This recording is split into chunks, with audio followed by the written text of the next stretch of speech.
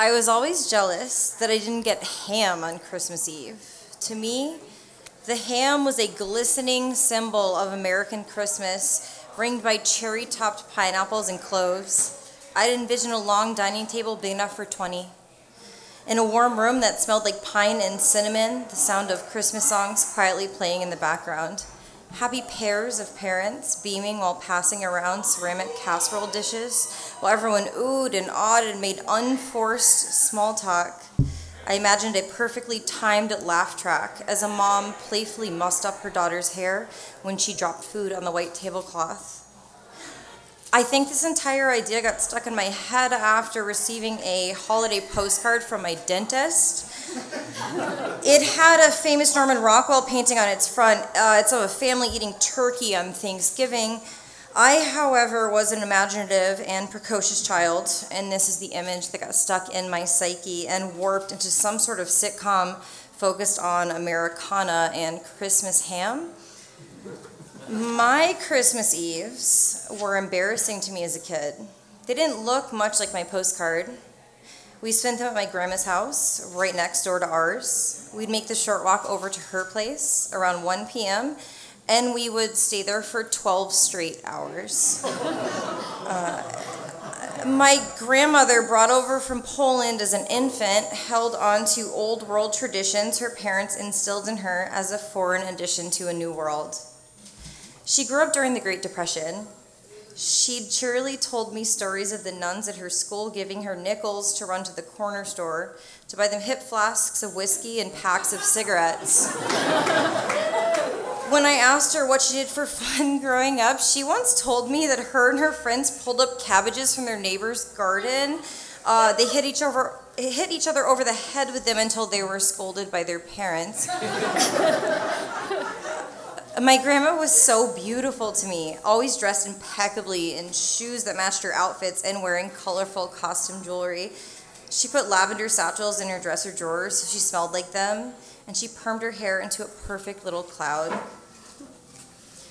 She was beautiful, but as a kid, I didn't think she liked us that much. I already raised four children, she told my mom when she asked to babysit after dinner one Thanksgiving night. I have other plans. What plans? My mom asked. My grandma lived alone. She basically only left her house to run errands. I got some more letters. It might finally happen this year. Mom, Prize Patrol is not going to show up at your house. Publishers Clearinghouse is a scam. Besides, why can't the kids be there with you if they come? Bevy, they take pictures of you with the big check, you know. And to her, that was that, a good enough reason. If Prize Patrol showed up on her doorstep, she didn't need any small, dirty fingers staining her big check. we were only welcome at her immaculate house as long as we behaved like proper Victorian era adults.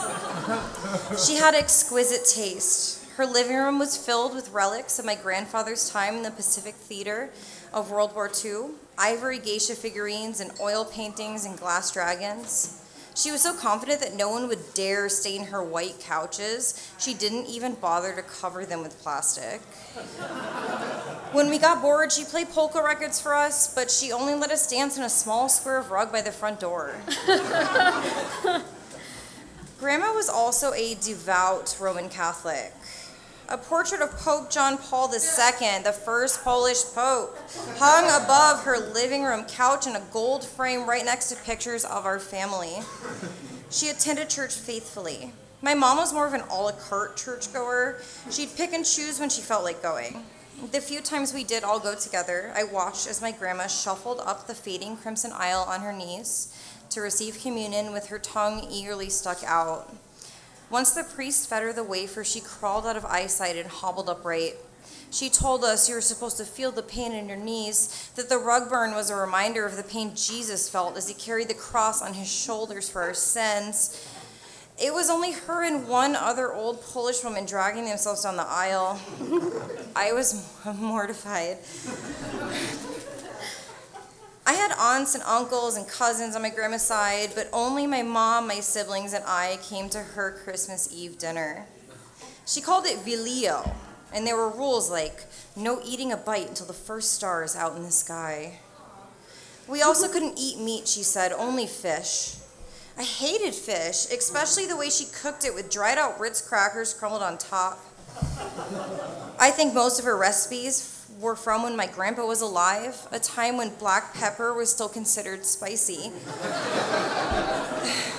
my mother ate slices of pickled herring out of the jar on the table and chased them with shots of vodka. She'd ask them to try it as we gagged. We were ladled bowls of white borscht, a sour rye bread soup with nothing floating in it but mushrooms.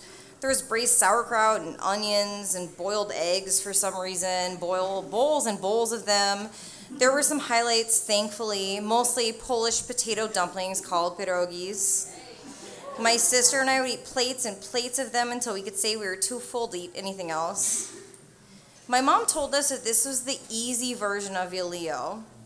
When I was growing up, we had about nine versions of fish and maybe some boiled potatoes on the side. Uh, your grandma makes all this new stuff for you guys, and you should be thankful. New stuff, I think, because I pushed around an egg on my plate.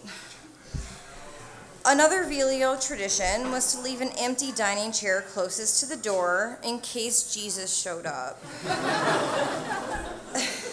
an available seat for Jesus or a ghost or a wandering stranger, I guess. One year, the front door rattled in the wind. My mom and grandma both gasped. It's Alan, they said. Alan was my uncle, my mom's oldest brother. He passed away when I was a toddler. My grandma didn't talk about it much, but my mom did. She said he had been her best friend.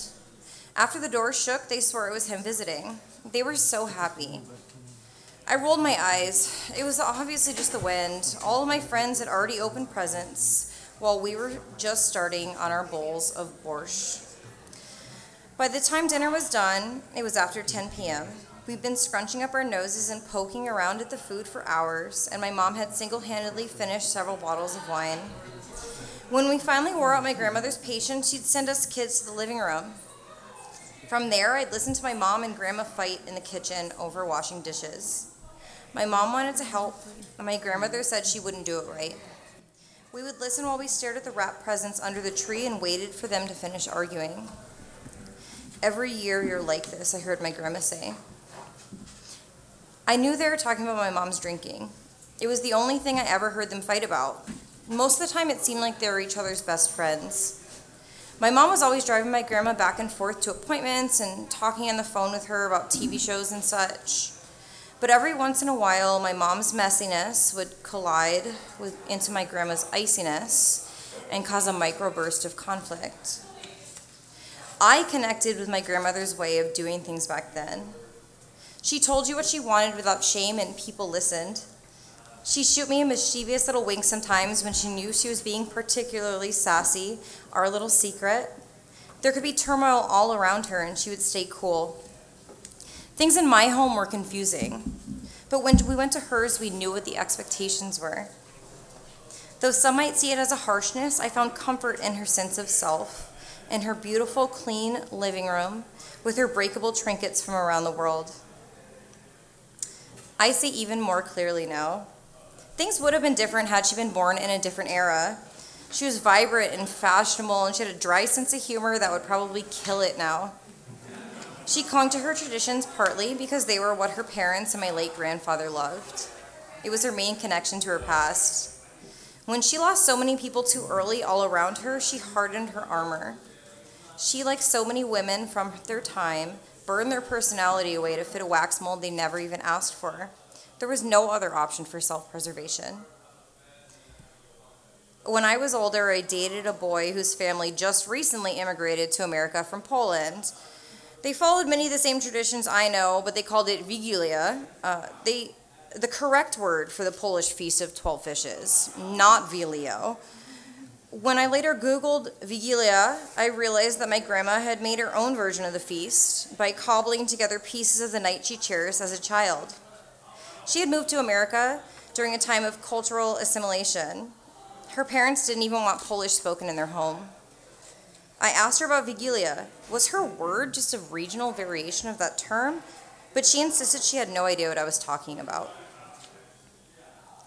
Right before she passed away, I visited her while she was in hospice care at my mom's house.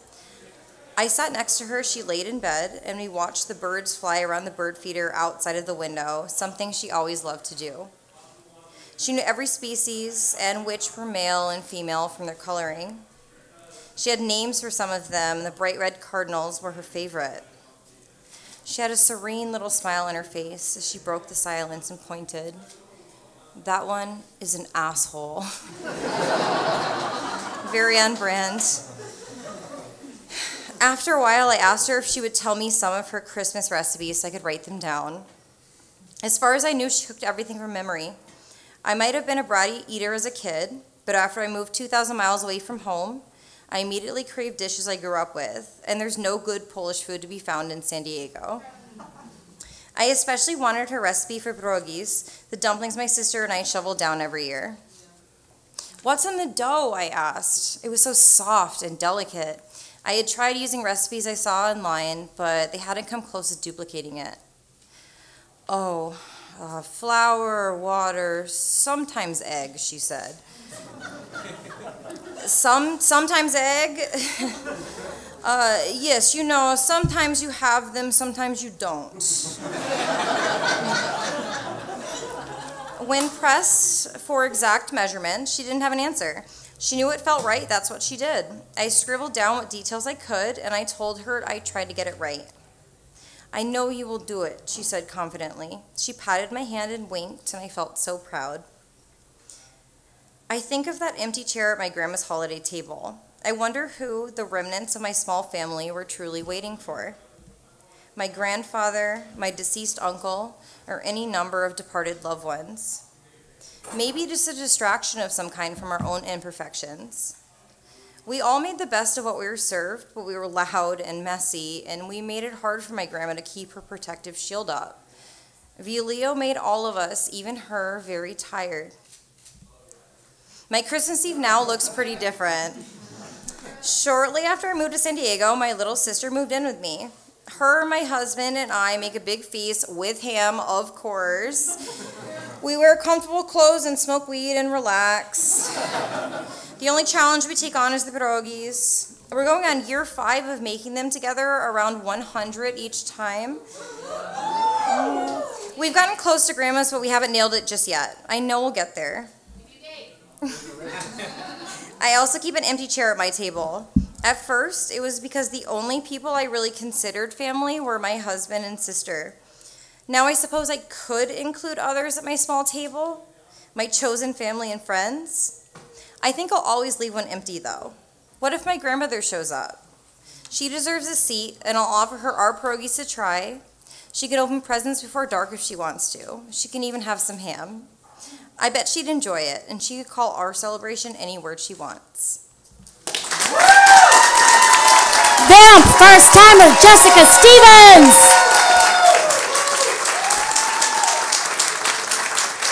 All right, guys, thank you so much. Let's get one more round of applause for tonight's storytellers. We had Jordan Coburn, Kate McGovern, Kirsten Hernandez, Joe Hudak.